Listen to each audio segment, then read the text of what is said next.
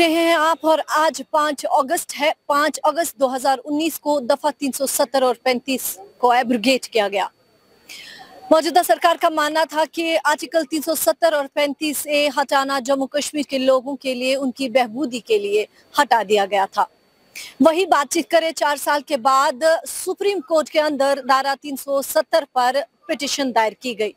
बात की जाए रीजनल पार्टीज़ की तो लगातार रीजनल पार्टीज़ का मानना था कि आर्टिकल 370 जम्मू कश्मीर के लोगों का एक स्पेशल स्टेटस है जिसको आ, सुप्रीम कोर्ट को फैसला करना चाहिए कि लोगों के हक व हुकूक क्या है।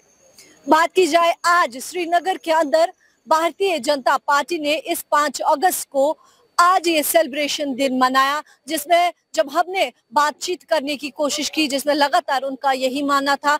आर्टिकल 370 के बाद जम्मू कश्मीर में डेवलपमेंट हुई। जम्मू कश्मीर के लोग खुशी और अमन से रह रहे हैं, खासकर बात की अस्करियत पसंद जम्मू कश्मीर के अंदर कम हो चुके हैं। यहाँ के पार्टी लीडर से हम बातचीत करने की कोशिश करेंगे। क्या खुश रहेगा? अब तक हम ज़रूर पहुँचाने की कोशिश करेंगे। आज का दिन बड़ा विशेष है। 5 अक्टूबर 2019 को abrogation of article 370 and 35 A. ये हुआ है। भारतीय जनता पार्टी ने 2019 में आते ही पहले पार्लियामेंट सेशन में दूसरी बार जब मोदी जी की सरकार आई तो पहले ही सेशन में इस आर्टिकल 370 को खत्म किया। ठीक बात है। ये अभी सुप्रीम कोर्ट के ज़ोर घेर है। पाँच जजों की कमेटी, पाँच जजों की टीम इसको सुन रही है। हमारे सभी यहाँ के नेता परसों गए थे वहाँ। और सिब्बल साहब को हमारे चीफ जस्टिस ने किस प्रकार से ये कहा कि क्या ये आर्टिकल पार्लियामेंट खत्म नहीं कर सकती है कि ये मुझे बताइए? तीन साल पहले, जो हमारे कश्मीर में पैंतीस साल खून की होली खेली गई और खेलते रहे, और उसमें वो जहलम हमारा गवाह है कि खून कितना बहता गया और कितने कब्रिस्तान हमारे बढ़ते गए और हमारे लीडर उसी पे अपनी रोटियाँ सेकते गए और खुद को चीफ मिनिस्टर और मिनिस्टरों की कुर्सी पे बिठाते गए। वाह! कश्मीर के हमदर्द, कश्मीरियों के हमदर्दों ने सिर्फ़ कफन बेच के कफनों पे और हमारे नौजवानों के लाशों पे यहाँ पे पॉलिटिक्स की। आज भी वो वही चाहते हैं। इस स्टेज से आप मेरे सारे भाई बैठे हुए हैं। आज हर एक कश्मीरी यहाँ पे गवाह है कि हमारी लाशों पे हमारे लीडरों ने पॉलिटिक्स की और हमें धोखा देते रहे। खुद ऐशो आराम में रहते रहे। हमारी गरीब माँ, बहन, बेटी और बच्चों को मारते रहे। यहाँ पर जनरल सेक्रेटरी अशोक कोल के साथ साथ आज उनकी सदारत में एडवोकेट सलमान, शेख सलमान ने भारतीय जनता पार्टी को ज्वाइन किया। उसी बीच अगर बात की जाए, जिनके साथ हमने बात भी की है, आप तक वो खबर भी पहुँचाने की कोशिश करेंगे। लेकिन फ़िलहाल आपको ये बता दें कि आर्टिकल 370 और 35 ए आज यहाँ पर 5 अगस्त के दिन ये दिन मनाया गया। और इस दिन में हमने देखा कि जो भी कार्यकर्ता है चाहे यहाँ पर जो लोग आए हुए थे उनका यही मानना था कि आर्टिकल को हटाना ही जम्मू कश्मीर की बहबूदी और बुनियादी थी। एडवोकेट शेख सलमान हमारे साथ इस वक्त मौजूद है जिन्होंने आज भारतीय जनता पार्टी ज्वाइन किया। सर सर से सबसे पहले आपसे ये जानना चाहेंगे आप पेशे से एक एडवोकेट हैं और आप कैसे भारतीय जनता पार्टी में ज्वाइन हुए? देखिए पॉलिटिक्स और जो जुडिशरी है वो इंटरकनेक्टेड है एक सोसाइटी में। तो पॉलिटिक्स और जुडिशरी का रोल जो रहता है वो डायरेक्ट एंगेजमेंट रहती है लोगों के साथ माशरे के साथ माशरे में सोसाइटी के साथ। तो मेरा ये मानना है कि पॉलिटिक्स एक ऐसा टूल है कि जहाँ आप लोगों के साथ ग्राउंड लेवल पे एंगेज होके बेटर डिलीवरीज कर सकते हैं। क्या लगता है आपको कि दफ़ा 370 आप पेशे से एडवोकेट है? मैं इसलिए आपसे ये सवाल जानना चाहूँगी।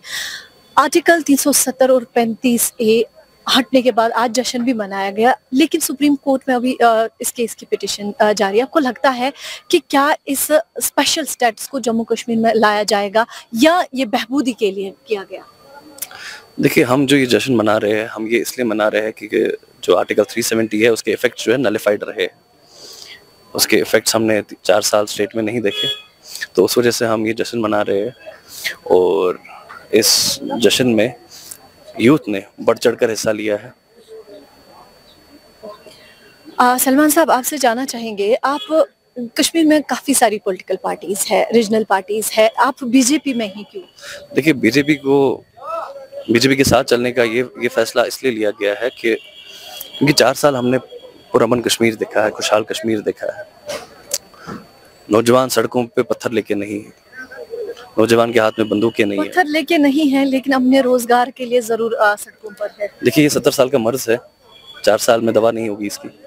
टाइम लगेगा दवा में। और हो रही है दवा। काफ़ी हद तक दवा हो गई है काफ़ी हद तक मरम लग गए है।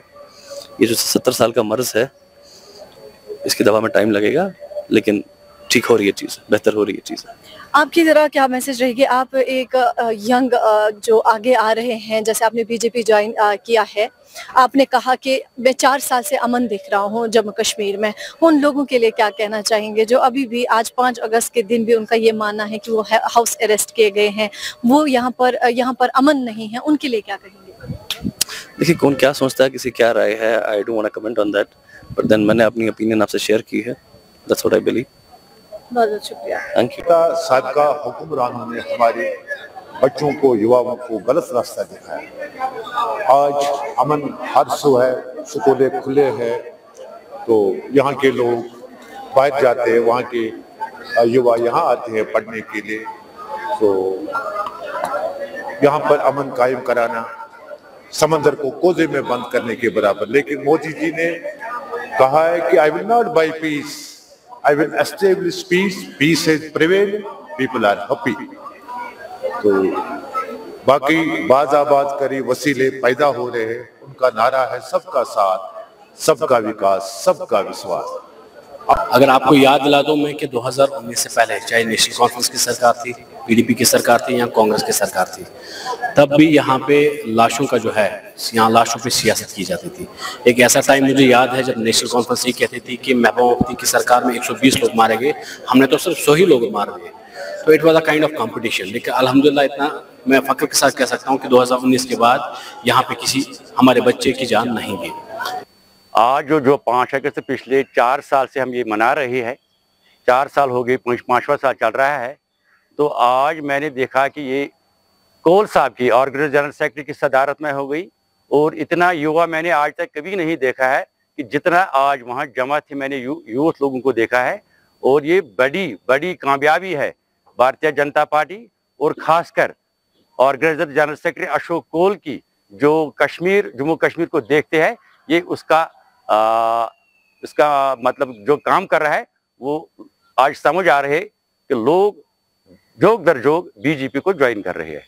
दूसरी बात यह है कि जो वहाँ डिस्ट्रिक्ट प्रेसिडेंट है उन, मतलब लोगों को वो पसंद नहीं शायद आता है इसीलिए लोग नहीं आते। जब मैं जाता हूँ तो मुझे मेरे पास आते हैं जो उनके काम होते हैं वो आपको एडमिनिस्ट्रेशन एसपी साहब को बोलो डीसी साहब को बोलो ये तो फर्द की बात है फर्द को कोई पसंद नहीं करेगा तो वो पार्टी की गलती नहीं है। बात की जाए, चार साल के बाद सुप्रीम कोर्ट के अंदर वहाँ एक साइड से पिटिशन जारी है और दूसरी साइड से बात की जाए, भारतीय जनता पार्टी ने आज इस दिन की सेलिब्रेशन की। देखते रहिए हमारे साथ, हर कोई अपडेट मैं इशरत बाट श्रीनगर से।